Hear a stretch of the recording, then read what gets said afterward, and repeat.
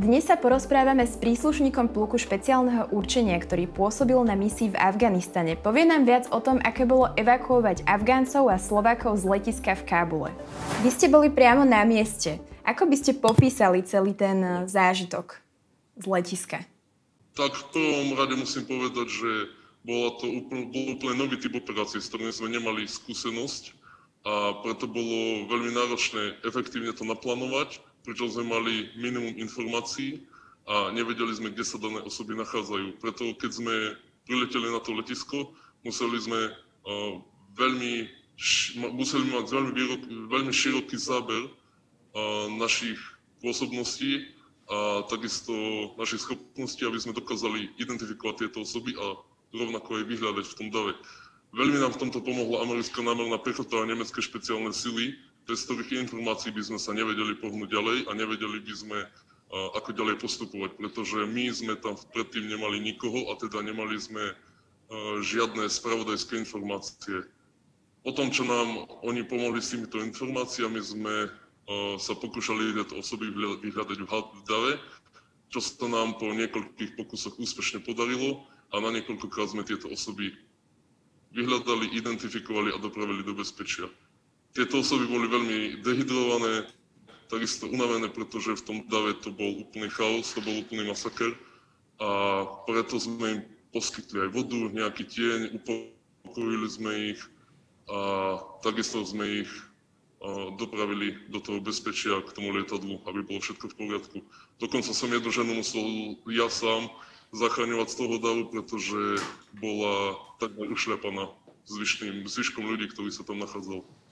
Takže tú atmosféru na letisku by ste popísali ako veľmi chaotickú a takú, že nekontrolovanú plne? Áno, určite áno. Pretože uh, po tom, čo po všetkých udalostiach, čo sa tam stali, tí ľudia chceli, jediné, chceli iba odísť z toho letiska a chceli zachrániť seba a svoje rodiny. A preto tá situácia bola veľmi, ale veľmi chaotická. A americkí vojaci, ktorí ochraňujú momentálne to letisko, tak oni majú za úlohu len ochranu toho letiska a tí ľudia, ktorí sa snažia dostať dnu, tak e, tých zachraňujeme síce, krajiny tam chodia a zachraňujú ich, ale to nie je primárna úloha. A preto je tam situácia taká, aká je a je veľmi chaotická. Vy ste už spomenuli, že ste nemali dostatok informácií, keď ste tam išli a určite tam hrozili nejaké rizika. Aké napríklad konkrétne? Tento druh operácií sa nazýva Time Sensitive Operations, to znamená operácie, kde je kritický nedostatok času. To znamená, že pri plánovaní týchto operácií, ako som už spomínal, nemáme dostatok informácií, nevieme, kde sa nachádza nepriateľ, čo je s ním, máme len určitý, určité body, ktorých sa môžeme držať. Pri tomto konkrétnom bol, bolo najväčším, najväčším rizikom asi prítomnosť Talibanu a zároveň jeho neprítomnosť. To znamená, že my sme nevedeli, kde sa nachádza Taliban, či je tam nejaká hrozba z jeho strany, alebo či bude relatívne pokoj a kľud. Teda oni sa mohli nachádzať kdekoľvek v tom dave, kdekoľvek v blízkosti letiska a keďže oni sa nerozlišujú nejakým spôsobom od e, civilistov, teda majú rovnaké oblečenie, akurát, že majú skryté zbrane, nedokázali by sme ich identifikovať a rozlíšiť od e, civilistov. Takže to bola najväčšia hrozba v tomto prípade. Takisto bol, bolo, nenazvem to hrozbou, ale problémom, nedostatok času, pretože všetci vieme, aké je to tam v týchto dňoch a čas je veľmi kritickým atribútom a teda všetko musí byť vykonané veľmi rýchlo. A mali ste osobne strach, keď ste išli do tejto misie? Tak ja si myslím, že každý musí mať strach. Nie nejaký veľký strach, ale nejaký strach tam určite je, lebo keď niekto cíti strach, to neznamená, že sa bojí a že nechce ísť do toho. To znamená, že má aj odvahu, aby tento strach prekonal. Takže ja sa priznám, áno, mal som určitú formu strachu, pretože to bolo niečo nové a nevedel som, do čoho idem. Ale ako som už povedal, keď je tam tá odvaha, ten strach je prekonaný.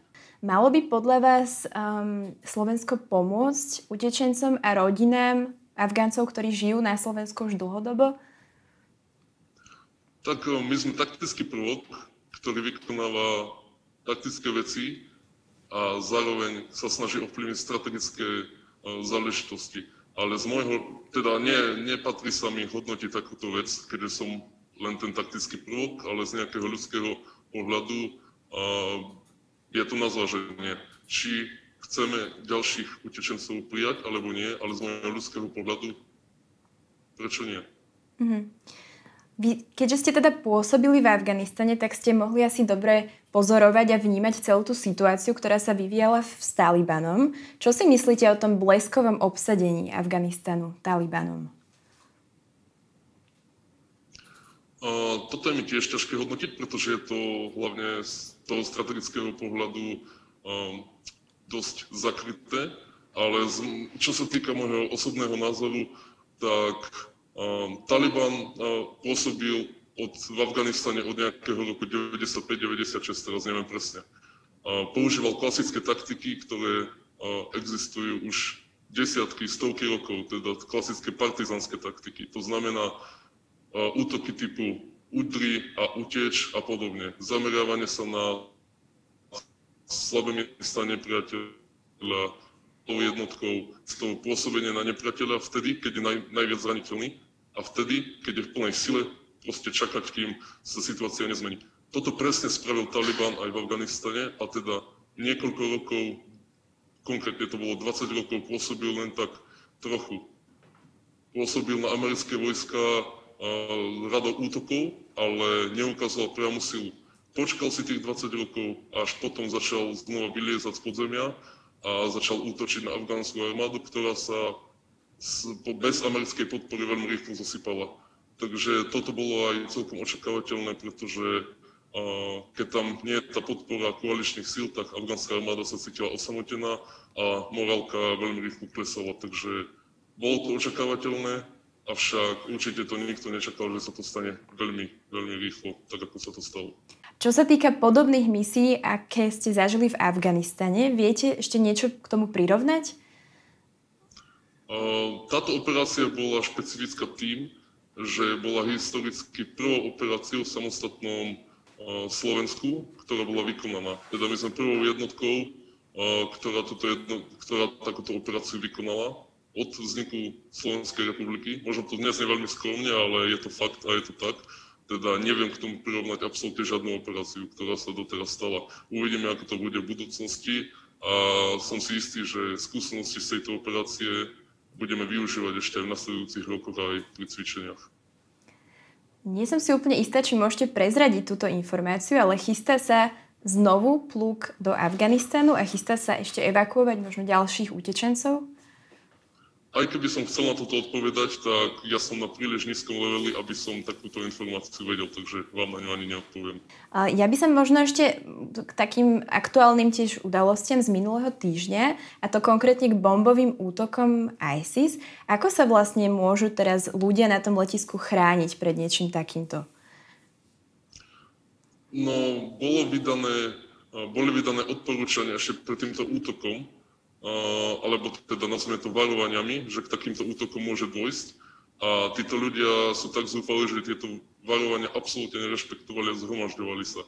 Čiže jedinou obranou voči takýmto útokom je proste nezhromažďovať sa, lebo veľká skupina ľudí v určitej malej oblasti je veľmi lákavým cieľom. Takže to je jediná obrana pred nimi, pretože ľudia v tom dave, oni nedokážu identifikovať ani tohto bombového útočníka, pretože vyzerá rovnako ako oni.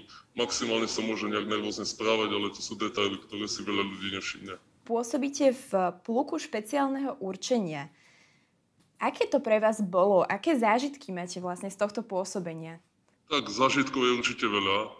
Nielen ja, ale chalani si zažili počas pôsobenia na pluku veľmi veľa zážitkov, dokonca nepublikovateľné. Napríklad jeden zážitok možno bude rezonovať a možno aj všetkým ukáže, že použitie armády aj v mierovom prostredí, aj počas mieru je veľmi žiaduce a niekedy je veľmi potrebné. Pred pár rokmi sa počas nášho pôsobenia v Afganistane stala jedna vec. Jeden človek sa pokusil vyhodiť do vzduchu vozidlo, v ktorom sa nachádzali naši príslušníci. My sme súhlasili s tým, že pôjdeme po tomto človeku a budeme sa ho snažiť nejakým spôsobom dostať. Medzi tým vyšla nejaká štúdia ohľadom pôsobenia rôznych dílerových jednotiek, ktoré alebo lepšie povedané dílerov, ktorí pôsobili v Strednej Európe a predávali určité druhy kokainu. Toto sa udialo aj v Bratislave. Medzi tým, asi po mesiaci sme tohto chlapa dostali a ukázalo sa, že tento chlap bol zapletený v dealovaní tohto kokainu v Strednej Európe a takisto aj v Bratislave. Teda na tomto môžeme vidieť uh, tú, tú koreláciu, tú paralelu medzi týmto, že čo sa udeje v Afganistane môže pozitívne ovplyvniť veci aj v Strednej Európe, takisto aj na Slovensku. A ak sa môžem spýtať, ako ste nejako vnútorne prežívali to pôsobenie v Afganistane? Tak e, pre mňa to bola určite novinka. Bol som plný očakávaní, nevedel som, aké to bude, ale keďže mám rád dobrodružný spôsob života a veľmi k takýmto veciam inklinujem, tak som cítil ten pravý adrenalín, takže ja som si to užíval. Vieme, že v Afganistane padli traja slovenskí vojaci. Vy ste zaznamenali nejaké straty aj vo vašom pluku? Áno, žiaľ, e, pred pár rokmi umreli dvaja naši spolubojovníci, naši priatelia, ktorých zasiahol výbuch vozidla improvizovaného výbušného zariadenia počas presunu v konvoji a za doteraz to boli jediné naše straty a dúfame, že, doteraz, dúfame, že naďalej to aj tak ostane. Hm. Pretože boli to naozaj obrovské straty a, a zasiahlo nás to veľmi. Takisto aj chalanov, ktorí tam boli, ktorí tam vtedy boli s týmito dvoma našimi zahynutými kamarátmi. Vidím, že máte na hlave kuklu. Chcem sa preto spýtať, prečo nemôžete hovoriť o svojej práce verejne bez maskovania tváre? Špeciálne jednotky vykonávajú činnosti v obzvlášť citlivom prostredí a povedal by som to tak, že sme taktický prvok, ktorý vykonáva činnosti, ktoré ovplyvňujú strategické veci, strategické záležitosti a preto to môže byť e, veľmi citlivé nielen pre nás, ale aj pre naše rodiny. Keďže, to, keďže my pôsobíme nielen v čase vojny, ale počas celého spektra konfliktov od mieru až po vojnu. Táto téma spadá do oblasti operačnej bezpečnosti. Ja by som sa ešte spýtala možno poslednú otázku a vrátila by som sa priamo k tej evakuácii ešte, že ako sa, aké emócie ste pozorovali možno na tých ľuďoch, ktorí prišli potom na Slovensko, keď to lietadlo pristalo? Ako to v tom lietadle vyzeralo? Tak to bolo veľmi dojemné, pretože už počas odletu tí pôvodní afgánsky obyvateľia, keď sa otačali do okien a pozerali sa smerom na letisko a smerom na ich krajinu, ktorú opúšťajú, tak mnoho z nich sa rozplakalo.